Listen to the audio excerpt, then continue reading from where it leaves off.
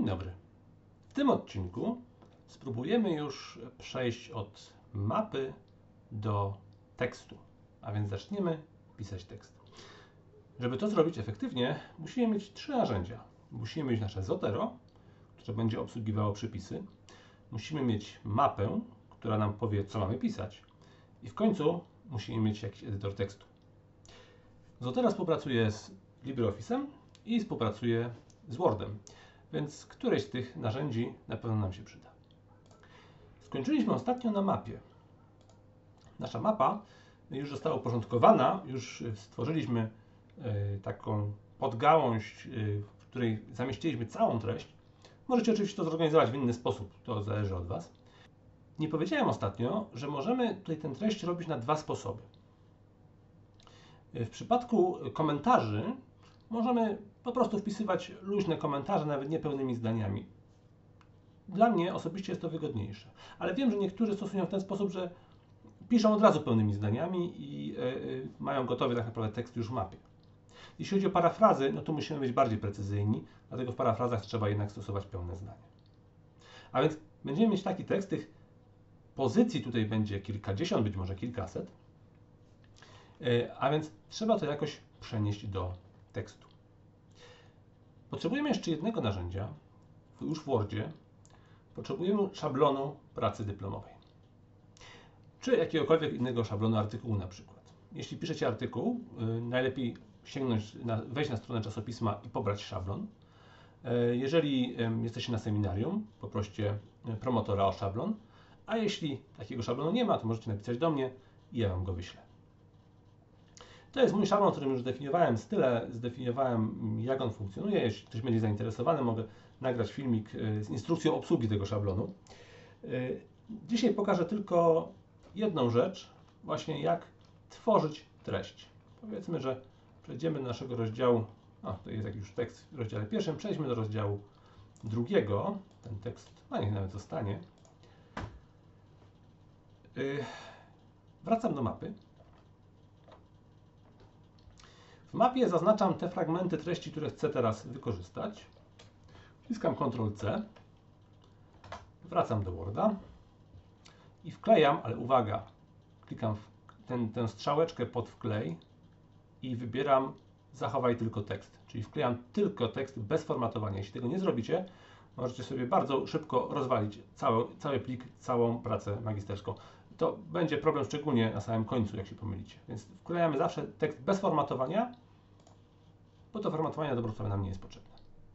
A więc wkleiliśmy to co, to, co chcieliśmy. Jeśli pisaliście od razu pełnymi zdaniami, to prawdopodobnie tylko tutaj trzeba zrobić jakieś drobne korekty.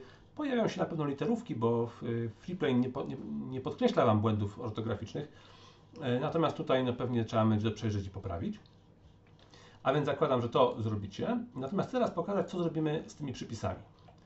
Zwracałem uwagę na to, że te przepisy muszą nam zostać, bo teraz będziemy chcieli y, je wykorzystać.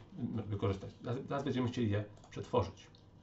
My nie chcemy, żeby te przepisy były takie właśnie nieaktywne. Chcemy je zrobić w formie aktywnej i do tego wykorzystamy Zotero. Jak mówiłem kilka odcinków temu, Zotero instaluje nam dodatek do, do Worda i też do LibreOffice'a. Tutaj go widać na tym pasku. To jest dodatek, dodatek Zotero. Teraz jeżeli sobie kliknę Add Edit Citation, pojawi mi się pojawi się na innym oknie. Pojawi mi się e, pytanie o styl cytowania. Standardowo w większości prac stosujemy APA, czyli American Psychological Association, wersję szóstą albo siódmą.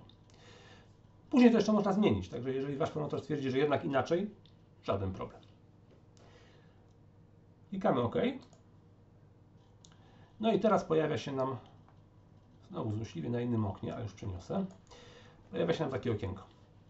W tym miejscu musimy znaleźć nasz y, cytat. Tu akurat mieliśmy problem, jak pamiętacie, sprzed kilku odcinków y, źle zostały wpisane dane do bazy i dlatego mamy jakieś AIR, nie mamy nazwisk, więc musimy sobie szybko przypomnieć, kto to był ten AIR. Normalnie będziemy mieć nazwisko.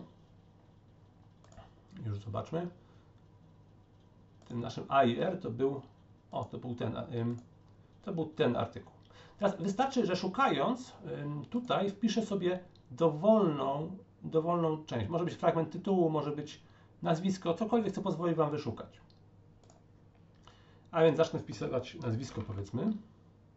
I proszę bardzo, już znalazł yy, o co chodzi. A więc klikam ten artykuł i teraz uwaga, wciskam Enter. Co się stało? Patrzcie, pojawił się nam przypis. Teraz w zależności od tego, yy, jakie są wymagania Waszych yy, promotorów i jakie są wymagania czasopism, albo wpisujemy numery stron, albo nie. Ja wymagam numeru stron, dlatego teraz wyedytuję sobie ten przypis. Mogę to zrobić od razu, ale chcę też pokazać, jak się to edytuje. Jeżeli kliknę na tym przypisie i jeszcze raz wybiorę Add Edit Citation, pojawi się znowu to samo okno. I mogę kliknąć sobie na tym konkretnym przypisie i dopisać prefiks albo sufiks. Więc jako sufiks wpiszę sobie a dajmy dwukropek 283 i znowu kliknę tutaj i wcisnę Enter. Proszę bardzo, mój przypis jest kompletny. Jeżeli to zrobiłem, mogę sobie usunąć mój wpisany wcześniej przypis w, w, mapie. I w ten sposób musimy przejść przez wszystkie cytaty. No dobrze, powiedzmy, że napisaliśmy cały tekst i mamy gdzieś tutaj bibliografię. Ona będzie oczywiście na końcu. W bibliografii musimy użyć tego przycisku. Add Edit Bibliography. I teraz klikam i automatycznie wpisuje mi się ta informacja, która, mm, którą miałem w bazie danych. Y, zwróćcie uwagę, tutaj trochę niefajnie wyglądają te duże litery. Nie poprawiajcie tego w tym miejscu. Jeżeli chcecie y, to poprawić, trzeba wrócić do Zotero, trzeba wejść tutaj, tutaj to zmienić. Ja trochę pójdę sobie na skróty, ja to skopiuję sobie, bo Word akurat ma bardzo fajną funkcję zamiany, więc to wkleję. Następnie w narzędziach głównych wybiorę jak w zdaniu. O, wytnę i wstawię tu z powrotem. Trochę leniwy jest. Ok, i teraz dam Zotero i refresh. Proszę bardzo. I już jest.